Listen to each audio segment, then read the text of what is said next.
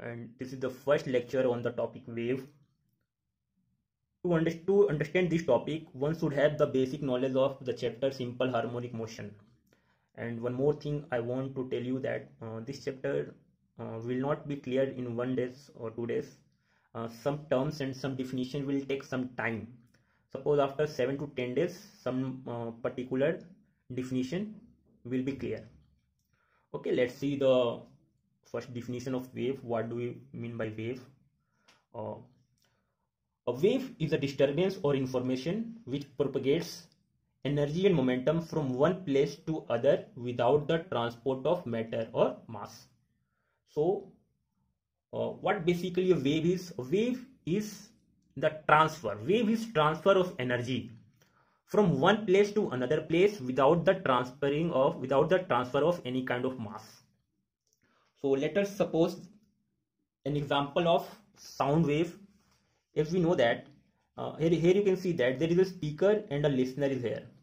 Suppose the speaker is saying a word hi to the listener.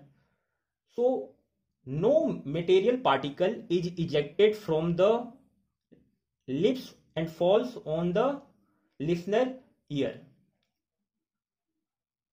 Speaker creates some disturbance in the part of air close to his lip and then energy is transferred from this air particle from speaker to the listener. The disturbance produced in the air near the speaker travels in air. Air itself does not move from the speaker to the listener. The disturbance is moving. The, the, the disturbance is traveling from sound from the uh, speaker to the listener and no air is traveling from the speaker to the listener. Uh, now see the second definition of wave. Uh, this is that uh, this definition is created by me. Uh, actually, yes. So wave is a combination of infinite number of oscillation or simple harmonic motion of medium component. And what do you mean by medium component? Medium component it can be the particles of the medium or it can be electric and magnetic field depending upon the wave or here you can see one example. Suppose we have a string. This is uh, string is here. And this string is fixed at one end and the other end is free. And now what I am doing? I am doing simple harmonic motion to, to this end, to the free end. First I am taking it up, then down, then again down, then again up. I am continuously doing this. Then what will happen? A wave will generate a wave will generate on the string. And this wave is called string wave. All part so the free end particle is doing what guys? The free end particle is doing simple harmonic motion. This is simple harmonic motion. Any particle on the on the string any particle if we choose this particle this particle is also doing shm here. It is going this is the mean position. From mean position it is going to the extreme up that is amplitude and again it is coming to mean and again from mean to uh, amplitude again from amplitude to mean. So so all particles on the string is doing simple harmonic motion. I think this is clear to you. Now see the third definition of wave. Wave is the transfer of some phenomenon without transfer of medium. So let us suppose uh, consider the example of some kind of rumor. So in rumor what happens some information is told by to one person to second person and from second person to third third to fourth fourth to fifth. And in this way rumor get transferred from one person to any n number of person so rumor can be considered as wave because some phenomenon is transferring and that phenomenon is here is rumor without transfer of any medium. Now here we can see some examples of wave string wave that I already discussed to you. Wave traveling on the surface of water. Yes, we all have seen this. Yes or no? When we drop something on the surface of a calm water, circular waves can be seen traveling on the surface of water. Sound wave, electromagnetic wave, matter wave, etc. In class 11, we will only study about string wave, and sound wave. Electromagnetic wave and matter wave are the topics of class 12 so see one see some more examples to getting more clear of the term wave. Suppose a man is traveling from this location to this location and this person is moving with a constant speed v so in this case at this location what is its momentum? Mass into velocity and what is its energy? Energy means kinetic energy. It is half mv square. And at, and at new location what is momentum? Again mass into velocity and energy is again half mv square because it is continuously moving with the same speed in one dimension motion. So can we consider can we consider this situation as a wave? The answer is no. Why? See energy is traveling from this location to this location yes or no?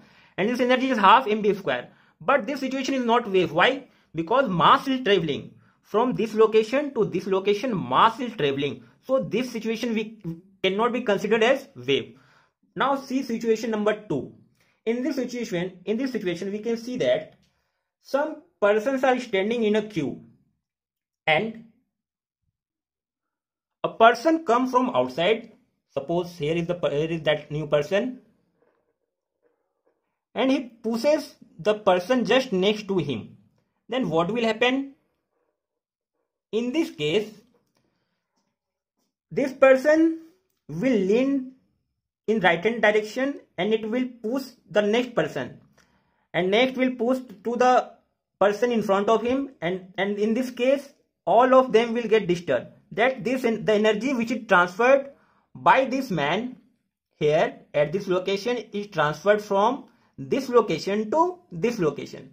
So this situation can be considered as an example of wave. Now we will see the classification of wave. And classification on the basis of first we will see the on the basis of dimension. On the basis of dimension waves are classified into three types. That is one is one dimensional wave two dimensional wave and three dimensional wave. In one dimensional wave wave travels along a straight line. And that example of string wave as i discussed earlier if one end is fixed and if we'll do simple harmonic motion to the free end this is free end this is fixed end. If we'll do simple harmonic motion to this end then what will happen? A wave will generate okay? And this is the direction of motion of the wave. All this thing we will discuss in very deep later as the time will proceed. For now just remember. So this is the direction of propagation of the wave so this is the one dimensional of wave. This is the example of one dimension because wave is traveling along a straight line and this is that and this is the this line. Now second is uh, what is two dimensional wave? Wave travels in a plane. Example wave traveling on the surface of water or ripple. As I discussed it earlier also that when something falls on the surface of calm water circular waves are suppose it is the surface of water.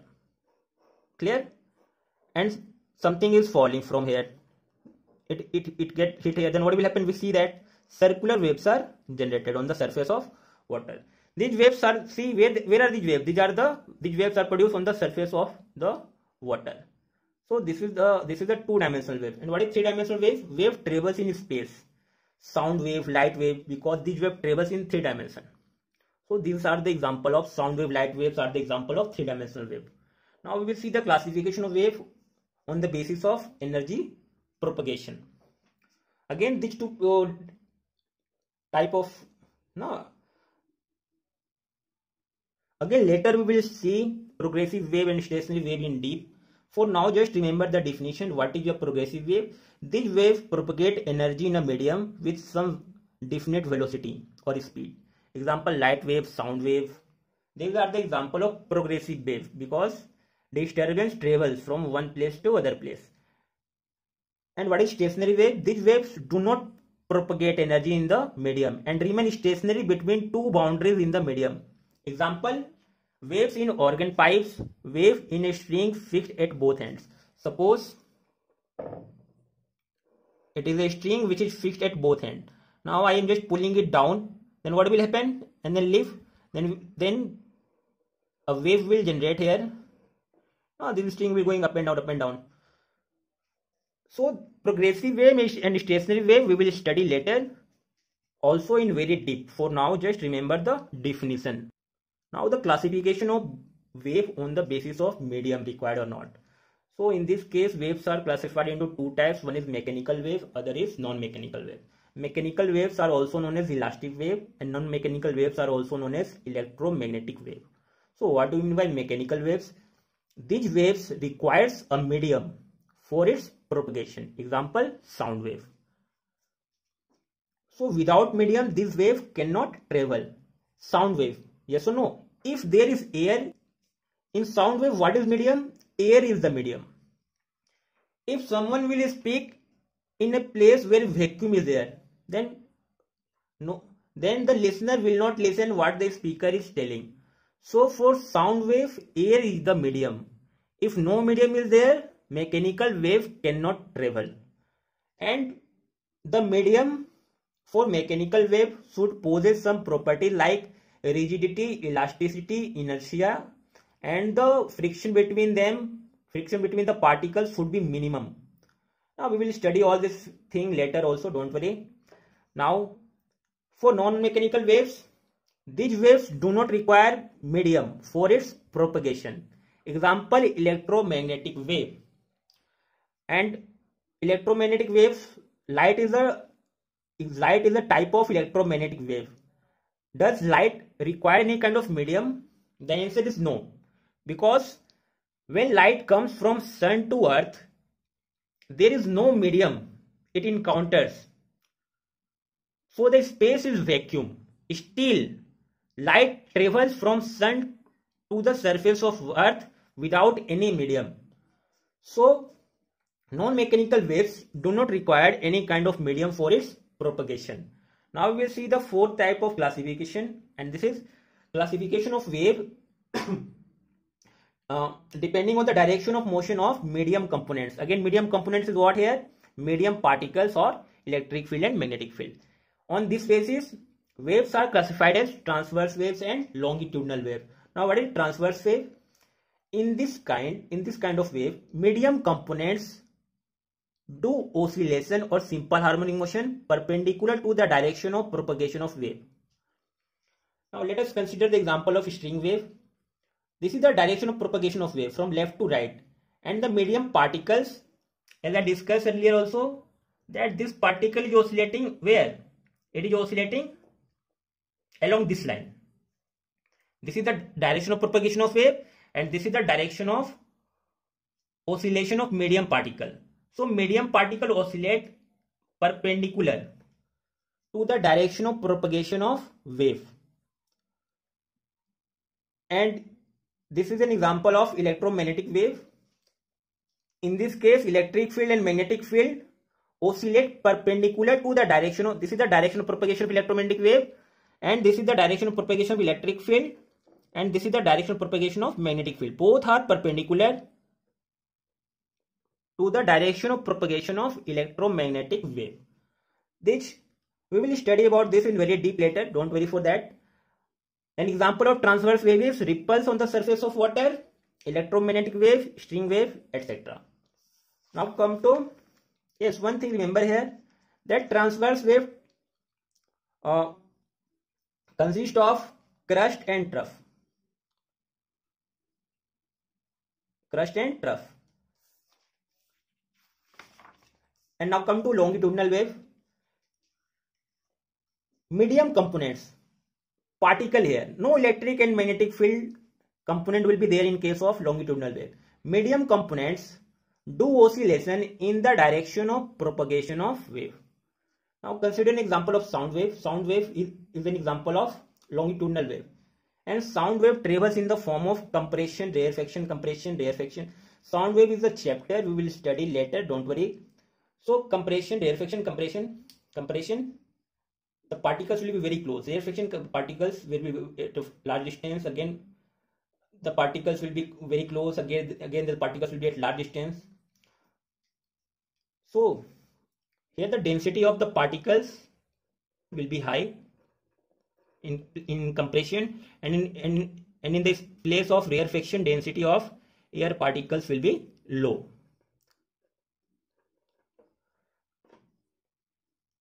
medium components or particles do oscillation in the direction of propagation of wave. This is the direction of propagation of wave here. Wave is traveling from left to right. And the particles, suppose consider one air particle here. This air particle is doing simple harmonic motion. It is going, suppose this is the mean position. So from mean it will go to right maximum amplitude from amplitude to mean again from mean to left amplitude again from left amplitude to mean so this particle will do simple harmonic motion in the direction of propagation of the wave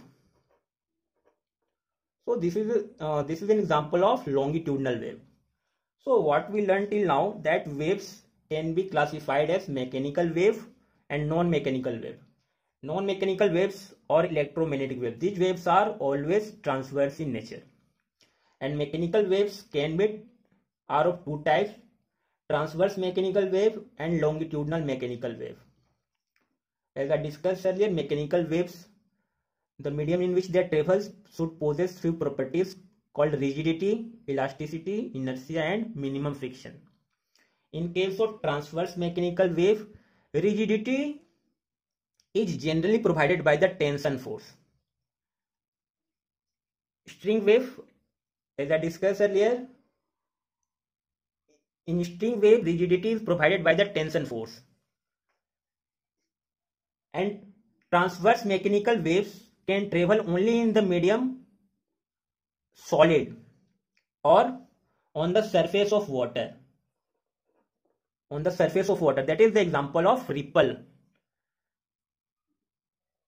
but in this case, what is the uh, tension force? Can you tell me? Yes, surface tension is the tension force in case of wave on the surface of water. Surface tension is the tension force. And uh, now come to longitudinal mechanical waves. Longitudinal mechanical waves can propagate in, medium, in any medium. Medium can be solid, it can be liquid or it can be gas. So longitudinal mechanical waves can travel in any medium. But transverse mechanical wave can only travel in solid or on the surface of liquid.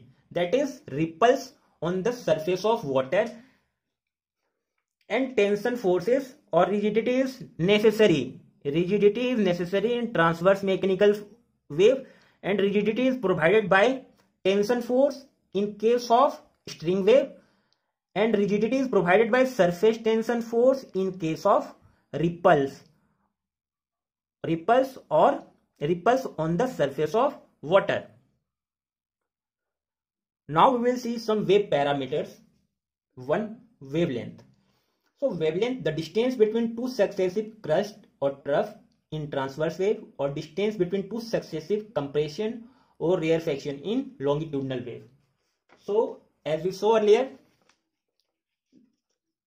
so the distance between two crust or distance between two trough. This distance is called wavelength. Or the second definition is distance between any two particles having same motion parameter or same phase. Now this definition will be clear later. Now see the second wave parameter that is amplitude maximum displacement of medium particles or medium components from mean position on either side. So in case of transverse wave, this is the maximum amplitude, maximum displacement from mean position. So this is amplitude. I, you can see either this or you can say this one also. Both are the amplitude in case of transverse wave. And in case of longitudinal wave, this particle can go maximum to this location on right hand side so this can be considered as amplitude or this this the same particle can go maximum displacement up to this point so this can be considered as amplitude maximum displacement of the particle from mean position on either side now see the third parameter that is time period time taken by an oscillating particle to complete one oscillation or one cycle So here we can see that consider any particle on the wave. Suppose I am considering this particle here. So this particle will do SHM here. It will go from here to here. And here to here. So the time taken by the particle to do one SHM. You can take any particle on the, suppose I am taking this particle.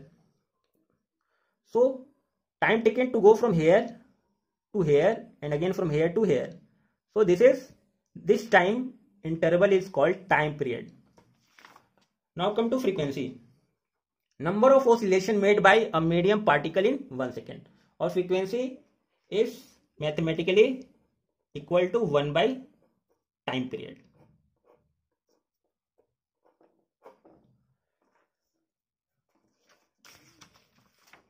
Now come to the fifth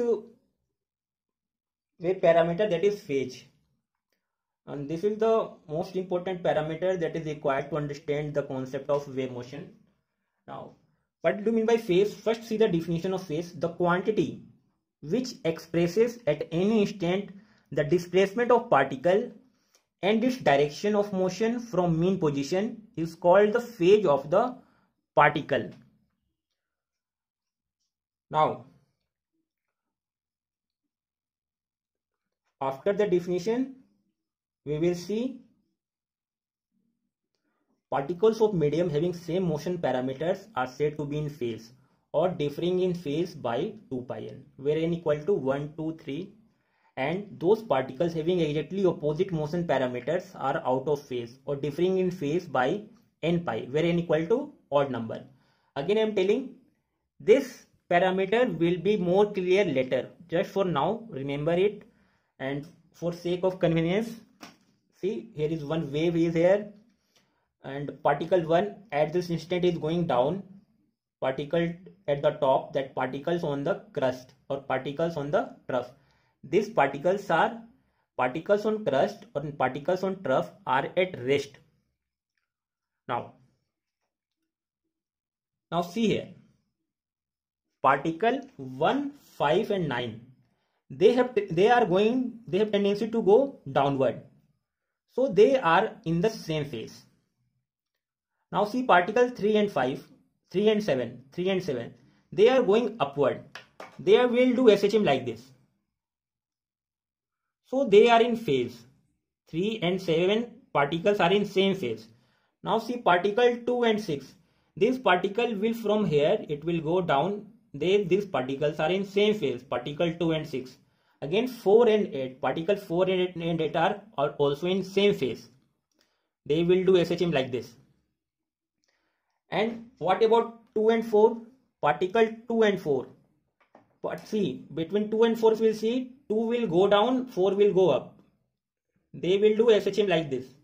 So these particles that is particle 2 and 4 are are out of phase. Similarly particle 5 and 7 you can see that one will go down other will go up.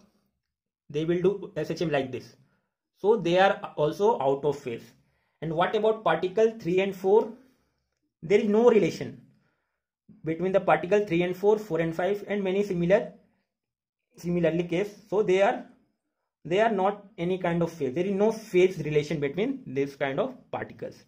Now see sixth wave parameter that is angular frequency. The symbol we use is omega. It is the number of circular revolution made by an imaginary particle on reference circle. Uh, those who knows simple harmonic motion they will understand understood this definition and those who don't know simply remember the formula omega equal to 2 pi f or, or omega equal to 2 pi by t now see the uh, seventh seventh parameter that is wave number the symbol we use is capital k other name of wave number is propagation constant so it is defined as it is the number of wavelengths in the distance of 2 pi and mathematically k equal to 2 pi by t 2 pi by lambda and if k is high and sometimes k will be low the value of k will be can be high the value of k can be low. So if the value of k is high it means that the wave will be very congested. The wave will be very congested. And if the value of k will be low it means that the wave will spread at a very large distance. So this is the meaning of uh, low value of k and this is the meaning of low value of k and high value of k. Now see the last uh, wave parameter that is wave velocity or sometimes we call it wave speed. The symbol we use is V. It is the distance traveled by wave per unit time.